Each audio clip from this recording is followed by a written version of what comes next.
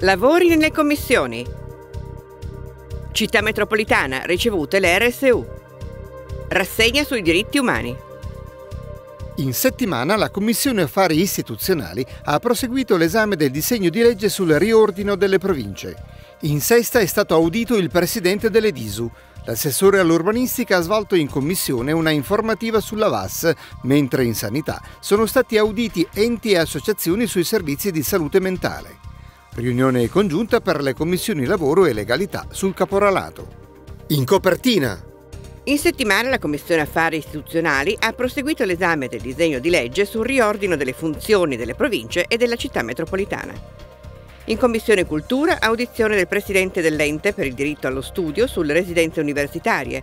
In seconda, informativa dell'assessore all'urbanistica sulla valutazione ambientale e strategica nei procedimenti urbanistici. In sanità, audizione di enti e associazioni sul riordino dei servizi di salute mentale. Valutare e sostenere gli emendamenti al disegno di legge sul riordino delle province in merito alla ricollocazione del personale. È quanto hanno chiesto le rappresentanze sindacali unitarie della città metropolitana nell'incontro coordinato dal presidente dell'Assemblea Mauro Laus con i capigruppo. Ha preso il via al Cinema Romano di Torino la rassegna Rights on the Movie, Diritti al Cinema, realizzata dal Comitato regionale per i diritti umani con Aiace. L'iniziativa prevede la proiezione di otto pellicole per riflettere sull'affermazione e la negazione dei diritti umani nel mondo.